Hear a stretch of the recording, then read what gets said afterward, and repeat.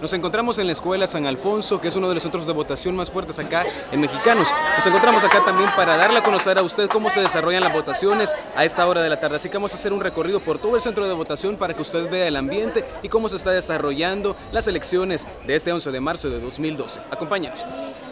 A pesar de que por la mañana se abrió con retraso el centro de votación, en horas de la tarde no se presentaron mayores inconvenientes. Que se animen a venir, es algo muy importante. ¿Usted siempre ha participado? Sí, siempre. ¿Por qué? Bueno, porque es un deber cívico que todos tenemos que cumplir, ¿verdad?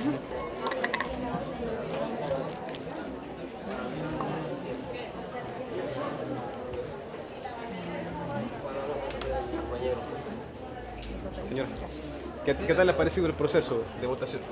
Está bien porque no hay tanta afluencia y para que nosotros decidamos quiénes queremos que gobiernen nuestro país, ¿Y usted siempre ha votado? Sí. ¿Por qué?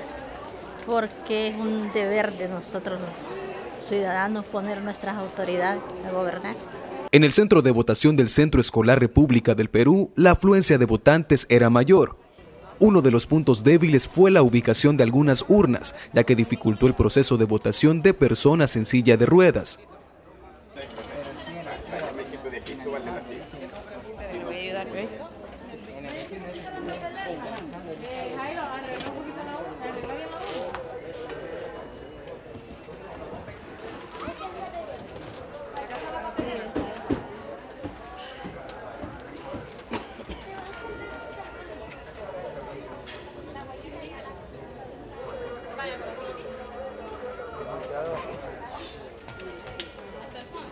La seguridad ha sido un punto clave dentro de esta jornada electoral, ya que se ha podido observar un amplio despliegue policial tanto dentro como fuera de los centros de votación.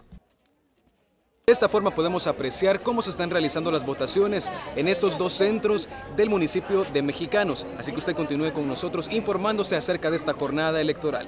En elsalvador.com, Denis Marquina.